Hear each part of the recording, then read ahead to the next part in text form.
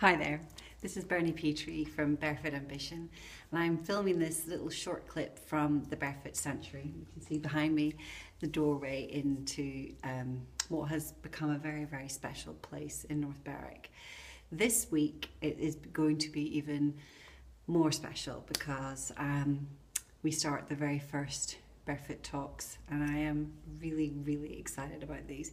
When I had the idea to do the Barefoot Sanctuary, the Barefoot Talks weren't the name that I knew, and the Barefoot Sanctuary wasn't the definite name.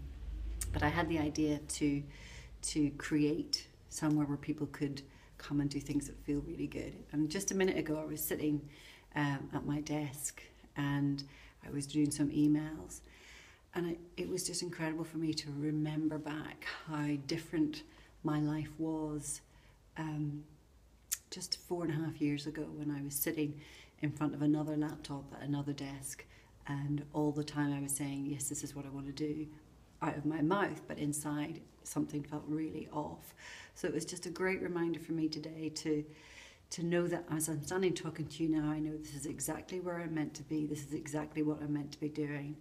And my my wish is that I can help other people discover that for themselves, that feeling of knowing who you are, what you're meant to do with your life in this moment is a brilliant feeling. And the, the only way you can discover that is by feeling it. So, um, hopefully, as a coach, I have developed ways now because I've gone through it myself and what I've learned and from what I now trust from the universe that I can help people to tap into really discovering what it is that their special gifts are and really discovering how they can be more themselves. Because you know being who we are who we were born to be is really a complete um, it should be easy because you know we're it's it's who we're meant to be.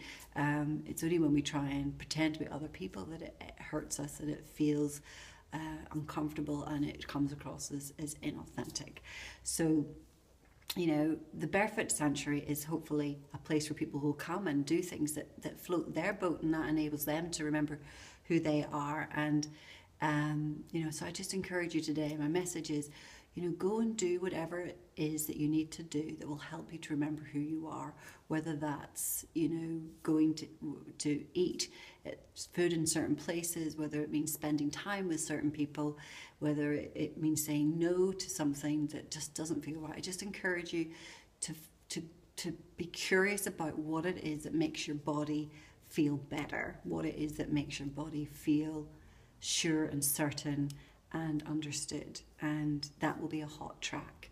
And from there, it'll take you to the next hot track. And from there, it will take you to the next hot track. And before you know it, you will have created a life that feels much more authentic than ever before. So thank you for listening and um, go and find your own sanctuary within inside of yourself. Bye for now.